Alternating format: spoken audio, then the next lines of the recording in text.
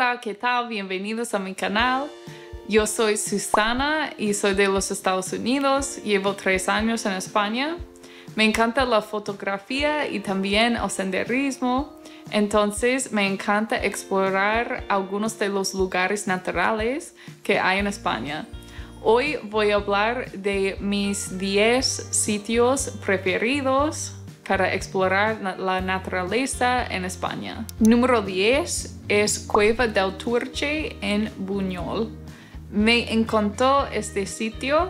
Yo vivía en Valencia, entonces tomé cercanías para ir a Buñol.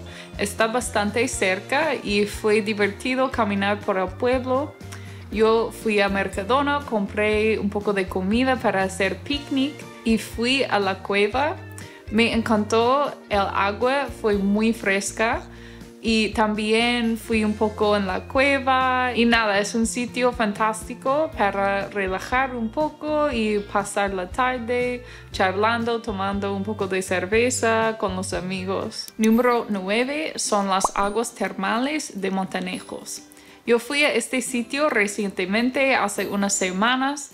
Es un poco más complicado llegar allí sin coche, entonces por suerte escuché de esta organización Valencia Language Exchange y de hecho ellos están organizando viajes casi cada semana a diferentes partes de España y ellos organizan un autobús para llevar toda la gente a los sitios.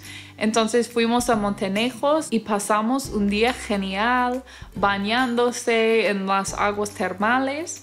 Estaba lleno de peces, fue muy divertido ver los peces con snorkel, snorkeling las gafas para bañarse, no sé cómo se dice. Fue muy divertido ver las peces, el agua allí está lleno de peces. También puedes hacer un poco de senderismo por las montañas allí con las vistas fantásticas. En general fue un sitio hermoso y muy divertido también para tomar una cerveza. Hay un bar allí, entonces puedes tomar al lado del agua con tus amigos, charlando y disfrutando el sol. Número 8 es el Parque Natural Saja Besaya en Cantabria. De hecho, necesito volver a este parque porque realmente no podía entrar al parque ni nada porque yo solo pasé en, coche, en BlaBlaCar. De hecho, ah, fuimos desde un pueblito pequeño, se llama Ruente, fuera de Santander, hasta Salamanca. Y bueno, el chico que nos llevó nos trajo por las montañas y vimos muchas vacas y todo con, con las vistas muy bonitas de las montañas.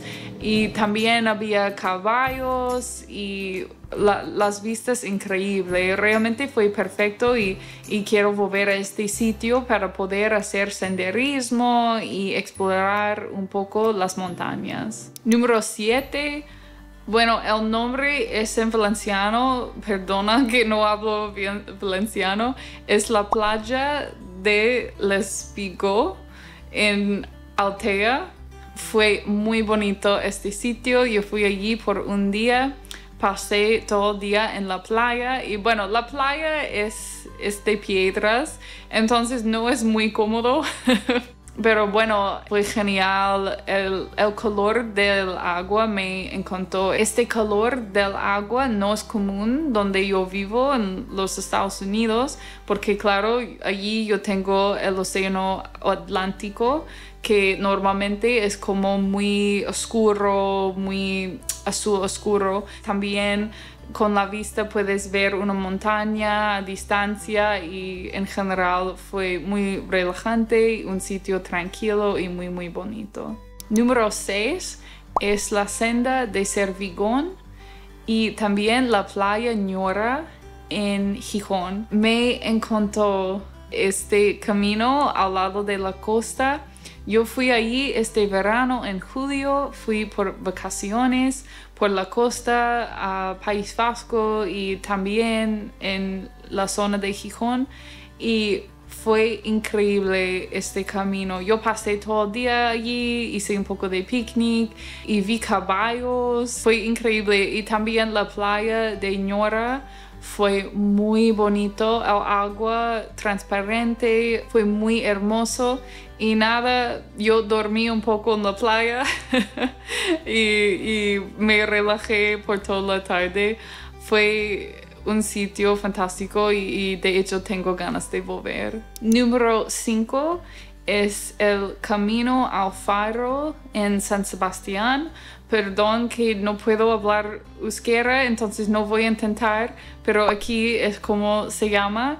Y este camino fue muy bonito. De hecho, yo quería subir hasta arriba, creo hasta el parque de diversión que hay, pero me perdí un poco y entonces solo caminé al faro, pero fue genial porque no había más gente allí, de hecho porque técnicamente el camino fue cerrado, fue bloqueado, pero bueno, yo, yo encontré una manera de entrar y yo me cené allí con bocadillo, mirando la vista y fue fantástico. Me encanta esta combinación de de montañas y también la costa. Y también hablé un poco con un hombre, fue un vecino que vive por allí, que estaba caminando con su perro y él me dijo que vivió en los Estados Unidos por un rato y nada, que hablamos un poco en general la gente española es muy amable y me encanta escuchar cuando alguien tiene experiencia de vivir en los Estados Unidos y tal. Y sí, yo en general me encanta San Sebastián, es un lugar fantástico. Número 4 es el santuario de Nuestra Señora de Guadalupe en Ondarribia. Yo encontré este camino por casualidad, fui a Ondarribia por pasar el día y nada, busqué en el mapa para ver a dónde puedo caminar un poco. Quería subir más para ver la vista de la costa y por casualidad yo llegué a esta iglesia pequeñita en las montañas y bueno, el camino fue fantástico. Yo entré por un lado cerca de algunas fincas y hablé un poco con los vecinos que vivían por allí y me preguntaron, chica, ¿qué haces por aquí? Porque estuve caminando yo sola y fue, técnicamente fue una calle, pero casi no había ningunos coches ni nada porque es como un, un, camino muy estrecho que sube por la montaña en el bosque y tal. Y para ellos fue un poco raro porque esta chica está ahí y eran muy simpáticos y tal. Y nada entonces sube a la iglesia y también la vista allí es, es muy bonita. Número 3 es los Flish de Sumaya. Fui a Sumaya este verano y me encantó Sumaya. Fue increíble. Pasé el día relajando en la playa que salió en unas escenas de Juego de Tronos. Me descansé allí y después subí para caminar hasta el faro y allí puedes ver una vista espectacular de la zona y fue absolutamente increíble. Fue uno de los sitios más hermosos que he visitado en toda mi vida. Recomiendo muchísimo que visitéis a Sumaya.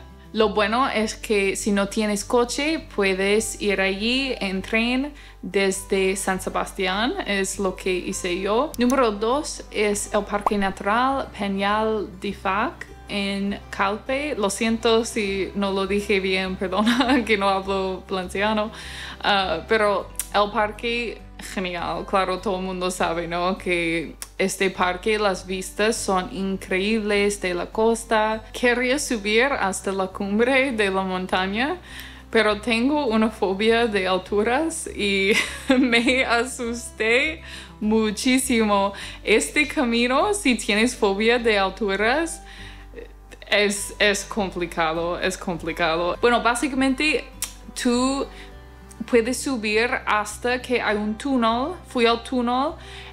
El camino después del túnel para mí imposible porque quería llorar.